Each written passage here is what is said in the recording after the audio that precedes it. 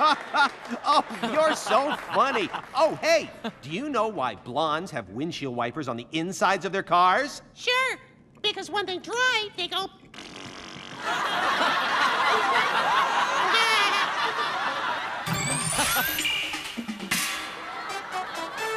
oh, yeah, that's a really good one. Okay, one more. Tell me why God created blondes.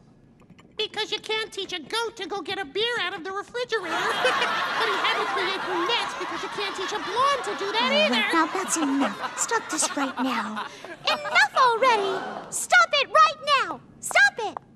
This is insulting, and it's vulgar, and it doesn't make anyone laugh. Come on, please.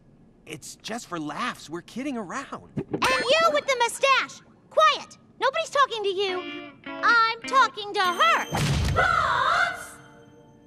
What?